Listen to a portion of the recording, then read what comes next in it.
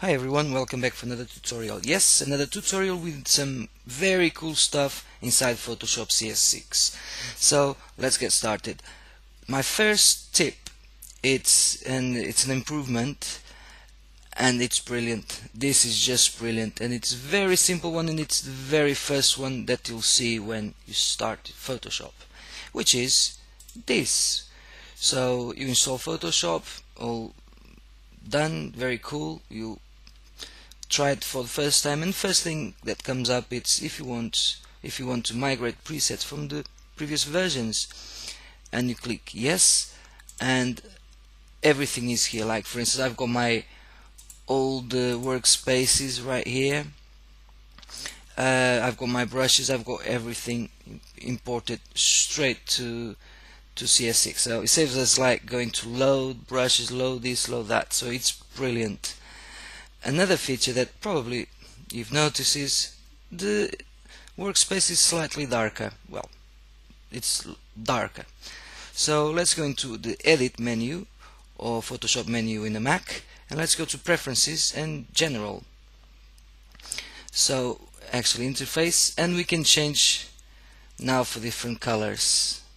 So just feel free to see which one you feel more comfortable with. I kind of like this one so I'm going to leave it like that. So I'll click OK. There we go. So now let's go for something really cool which is right here shape tools. So we've got the rectangular rounded rectangular ellipse etc so let's say we want to create a shape.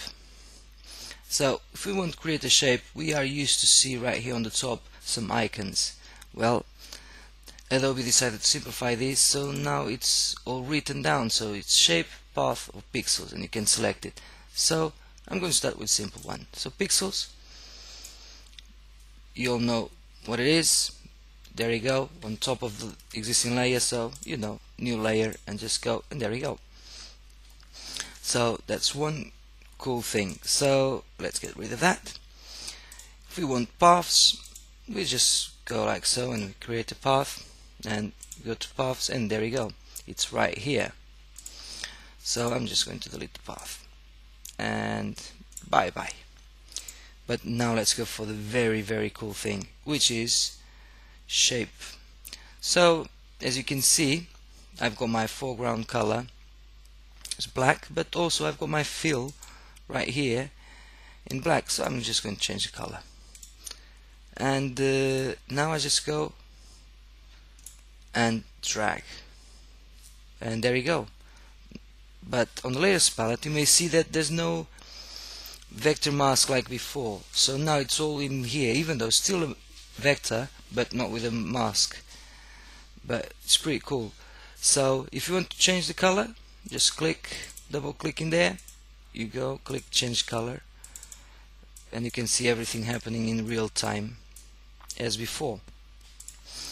Uh, you can change right here on the toolbar to your swatches and also you can change from the color picker right here as well. However if you want to stroke we can stroke it as well right here and it's very simple. As you can see I'm just clicking on my swatch. Now I'm going to just get my color picker and uh, let's go to this color and as you can see it's changing. But let's make it thicker so you can see what's happening. How cool is that? Excuse me. So as you can see pretty pretty cool. Everything happens in real time. But also we've got the stroke options right here. So we've got a line we want it like rectangular and spaced and then dotted line and right here more options which you can create your own preset. And that's it for now. I hope you liked it and play with Photoshop CS6 because it's amazing. Thanks for watching. I'll see you next time. Bye for now